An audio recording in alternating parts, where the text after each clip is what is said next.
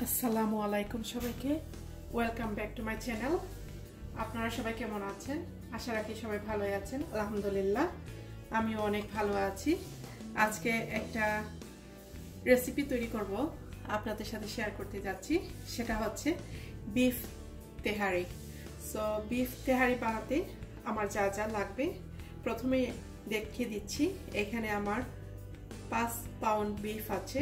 ধুয়ে, পরিষ্কার করে ক্লিন করে একটা বলে রেখেছি। আমি দিয়ে দিচ্ছি ম্যারিনেট করার জন্য প্রথমেই স্বাদ অনুযায়ী লবণ। তিন চামচ লাগবে, আমি তিন চামচ দিয়ে দিচ্ছি।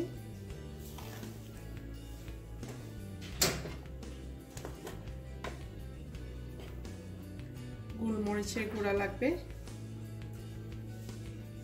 এক টেবিল এখানে দেখতে পাচ্ছেন কয়েকটা এলাচি, লং আর গোলমরিচ রেখেছি। এগুলো দিয়ে দিচ্ছি।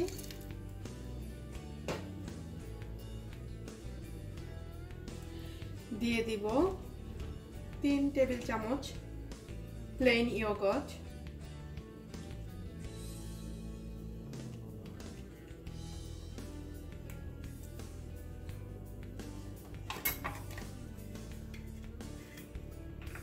অলিভ অয়েল আমি দিয়ে দিচ্ছি। হাফ কাপ মতো অলিভ অয়েল এটা দিয়ে আমি এখন আবারও ভালো করে মেশাবো।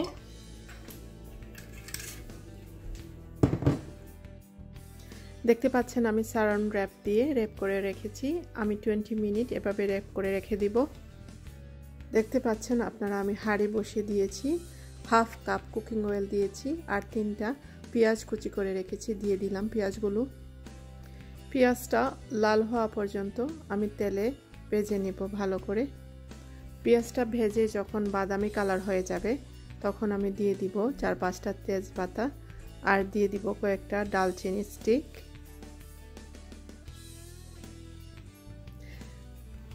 আরও লাগবে আমার আদা রসুনের পেস্ট আমি অলরেডি রেডি করে রেখেছি, দেখতে পাচ্ছেন? টু টেবিল স্পুন আদা টু টেবিল স্পুন রসুনের পেস্ট দিয়ে দিচ্ছি। ভালো করে আবারও ভেজে নিব।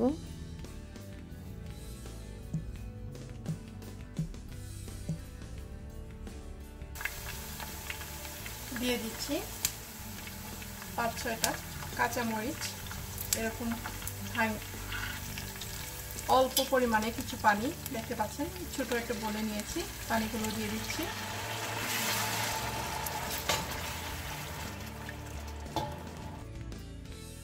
দেখতে পাচ্ছেন আমার পেঁয়াজগুলো ফ্রাই হয়ে গিয়েছে, তেল উপরে উঠে এসেছে।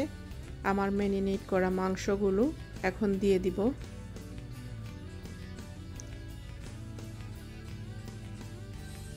এভাবে মাংস দেওয়ার পর হাই হিটে পুরা টেন মিনিট রান্না করব। টেন মিনিট পরে ফিরে এলাম। দিয়ে দিলাম হাফ টেবিল স্পুন জিরা গুঁড়া। আর আমার লাগবে হাফ টেবিল স্পুন গরম মশলার গুঁড়া। এই গুঁড়াগুলো দিয়ে আবারও ভালো করে মাংসের সাথে মিশিয়ে নেব। কিছু খসানো হয়ে গেলে দিয়ে দিব এক কাপ পরিমাণে গরম পানি। দিয়ে ঢেকে দিব অ্যানাদার ফোরটি মিনিটের জন্য। ফোরটি মিনিট পরে ফিরে আসব।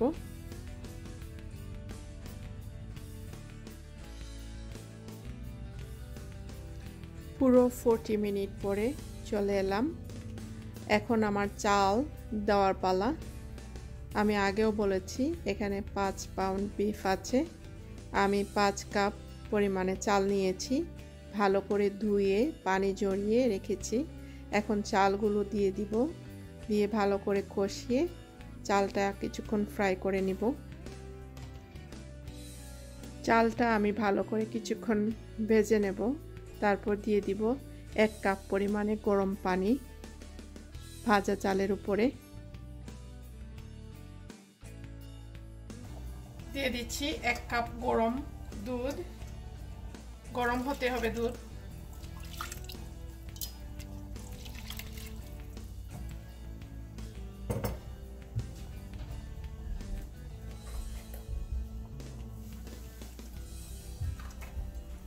দিয়ে দিচ্ছি। আরও কিছু লবণ আমার লাগবে। চাল দিয়েছি, চালের সাথে লবণ দিতে হবে।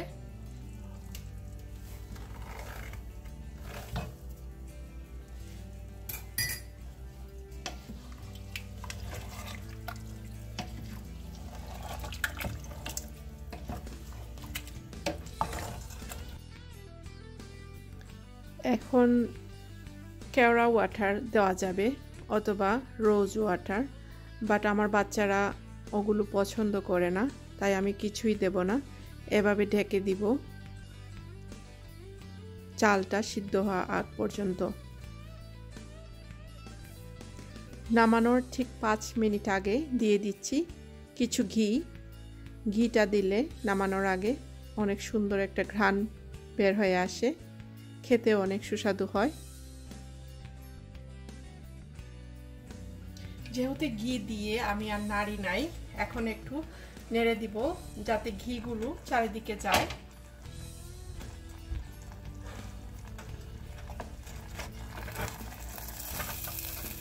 আমার তিহারিটা অলমোস্ট হয়ে গিয়েছে। অনেক সুন্দর স্মেল বাইর হয়ে যাচ্ছে এখন মাসাল্লাহ কীরকম হয়েছে আমার তিহারিটা? কমেন্টের মাধ্যমে জানাবেন।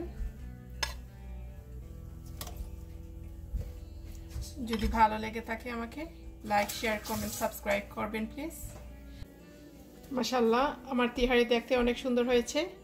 খেতেও দারুণ মজা হয়েছে। একটু খেয়ে দেখেছিলাম। আপনাদের যদি ভালো লেগে থাকে, এরকম ট্রাই করে দেখবেন।